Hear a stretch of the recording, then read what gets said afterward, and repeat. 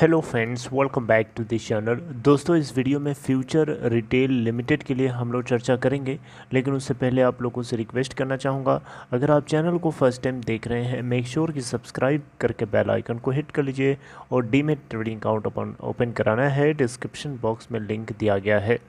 दोस्तों future retail limited को लेकर के खबर है, शायद आपको पता हो या ना हो, मुझे नहीं पता, लेकिन मैं आपको बताना ज़रूर चाहूँगा।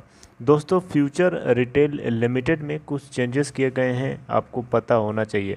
उससे पहले मैंने आपको एक खबर ज़रूर बताया था, ये मुझे अच्छे से याद है, कि एनसीएलटी ने एनसीएलटी ने मुंबई बेंच एनसीएलटी ने फ्यूचर ग्रुप के किशोर बियानी को 12 मई तक का टाइम दिया है कि वो आगे अपना जो भी रिस्पॉन्स है उसे फ़ाइल करें। फ्यूचर रिटेल लिमिटेड को बचाने के लिए, क्योंकि बैंक ऑफ़ इंडिया ने फ्यूचर रिटेल को बैंक्रप्सी प्रोसीडिंग्स कराने के लिए एनसीएलटी में एप्लीकेशन लगाया था। तो किशोर बियानी को 12 मई तक का टाइम दिया गया। आज 10 तारीख को हम लोग बात कर रहे हैं। ग्यारह बारह दो ही दिन बचे हुए हैं, और इस दो दिन में अगर रिप्लाई बियानी जी नहीं भेजेंगे तो 12 मई को एनसीएलटी में सुनवाई है, इसी केस को लेकर के, फ्यूचर रिटेल को लेकर के। तो आप उसके लिए तैयार रहिएगा।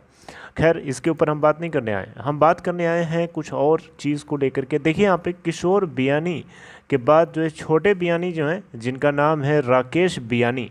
राकेश बियानी जो है, फ्यूचर रिटेल लिमिटेड के अंदर एक काफ़ी इम्पोर्टेंट पोजीशन लिए हुए थे।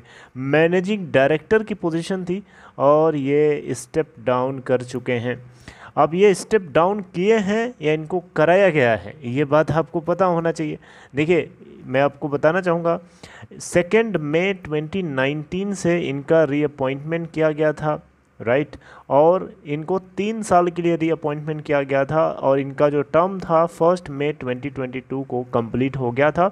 उसके बाद ये चाहते तो फर्दर रीअपॉइंटमेंट करा सकते थे बट इनको कोई भी इच्छा नहीं थी। इनकी कोई इच्छा नहीं थी। ये नहीं चाहते थे कि आगे इनका रीअपॉइंटमेंट हो।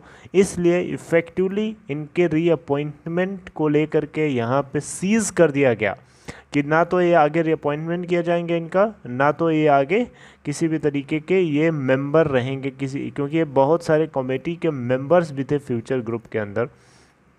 राइट right, तो अब इनको इस चीज़ को लेकर के सीज़ कर दिया। इसके अलावा दोस्तों, अगर आप देखें तो दो और इम्पोर्टेंट पोजीशन ऑक्यूपाई हुई थी। वो भी खाली हो गई। आप देख सकते हैं, वीरेंद्र समानी करके हैं कोई। और यहाँ पे गगन सिंह, ये इंडिपेंडेंट डायरेक्टर के रूप में है, इन लोगों ने भी रिज़ाइन कर दिया है यहाँ पे। ये बात आपको पता होना चाहिए। देखिए दोस्तों फ्यूचर रिटेल लिमिटेड को लेकर के एक बहुत ही हाई अनसर्टेनिटी बनी हुई है कि आगे क्या होगा। कुछ समझ नहीं आ रहा है क्योंकि देखिए, किशोर बियानी ने 945 इस कंपनी के जो स्टोर्स थे, इस कंपनी की जो असली, जो सबसे ज़्यादा दौलतमंद जो एसेट थी, वो तो रिलायंस ने चुरा लिया, वो तो रिलायंस ने हड़प लिया। अब इसके अंदर जान नहीं है, अब इसके अंदर थोड़ा बहुत माल बचा है। जान, असली जो जान थी, जो असली दौलत थी, उसने किसी और ने छीन लिया। और किशोर बियानी ने यहाँ पे सब होते, होने दिया। क्या पता टेबल के नीचे से कुछ खाया हो, कुछ पिया हो। ये कौन जानता? क्योंकि ये तो मुकेश अम्बानी जानता होगा, और किशोर बियानी जानते होंगे। इन्हीं दोनों के बीच की बात है राइट हम उसके ऊपर कोई भी टिप्पणी या कमेंट्री नहीं कर सकते क्योंकि हमें नहीं पता। राइट अब रियलिटी क्या है, इन्हीं दोनों को पता है, लेकिन जो भी है फ्यूचर रिटेल लिमिटेड को बर्बाद करने के लिए पूरी तरीके से अगर कोई रिस्पॉन्सिबल है तो कहीं ना कहीं अमेज़ॉन है और किशोर बियानी भी हैं और मुकेश अंबानी पीठ पीछे है। राइट डायरेक्टली नहीं है, लेकिन पीठ पीछे ज़रूर है, कहीं ना कहीं से रिस्पॉन्सिबल क्योंकि कहीं ना कहीं निशाना मुकेश अंबानी का ही था, और मुकेश अंबानी डायरेक्टली नहीं लड़ सकता तो वो इनडायरेक्टली कहीं ना कहीं से किशोर बियानी के रास्ते से खेल रहा था. बहरहाल, खेलने के का नतीजा ही है कि 945 945 स्टोर्स जो हैं फ्यूचर रिटेल के फ्लैगशिप स्टोर्स से उन्होंने छीन लिया. और ये बिना किसी नोटिस के, बिना किसी शेयर होल्डर्स की मीटिंग के, ना बैंक्स को नोटिस किया, ना सेबी को नोटिस किया, ना आरबीआई को नोटिस किया, ना अमेज़ॉन को नोटिस किया, ना ना फ्यूचर ग्रुप के शेयर होल्डर्स को मीटिंग किया किसी को कोई इन्फॉर्मेशन नहीं दी गई। ये चुपचाप गुंडों की तरह काम किया गया, जो कि बिल्कुल भी अनएथिकल है। एक बड़ा नाम, बड़ी कंपनी इसके बाद भी एक अनइथिकल तरीके से किसी भी चीज़ के ऊपर पोजीशन लेना कितना गिनौना काम है। आपको नहीं लगता? कमेंट बॉक्स में बता सकते हैं। बहुत लोग रिलायंस का फेवर करते हैं, लेकिन इन लोगों को इस बात को एहसास होना चाहिए। मुझे लगता है कि जो फेवर करते हैं, इस तरीके की बातों को निगलेक्ट करते हैं। उन लोगों की सोच भी कहीं ना कहीं वैसी ही होती है।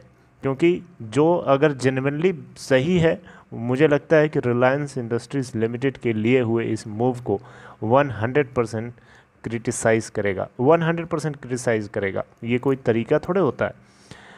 चलिए खैर, अपना ख्याल रखिए दोस्तों, ये छोटी सी अपडेट थी। आप लोगों को बताना ज़रूरी था रिलायंस फ्यूचर रिटेल लिमिटेड के अंदर ये छोटे बियानी की तरफ़ से जो कदम उठाया गया है, कहीं न कहीं इस बात का संकेत है कि बियानी फैमिली फ्यूचर रिटेल से अंदर ही अंदर ऐसा लग रहा है कि कट चुकी है। क्योंकि मे भी कि उनकी प्री प्लानिंग हो मे भी हो सकता है रिलायंस के साथ उन लोगों ने कुछ अंदर ही अंदर चाल चली हो, खेला हो पब्लिक तक ना आने दी जा रही हो बात को। मेरी बात समझ रहे तो ये भी हो सकता है। अब वेट करिए कि किशोर बियानी कुछ रिप्लाई करते हैं कि नहीं करते हैं बारह मई से पहले पहले। क्योंकि बारह मई को एन तो सुनवाई करेगा और सुनवाई करेगा, जो भी आगे स्टेप लेगा, फैसला लेगा, उसको हम सब देखेंगे, उसको हम चर्चा करेंगे। Okay friends take care see you next time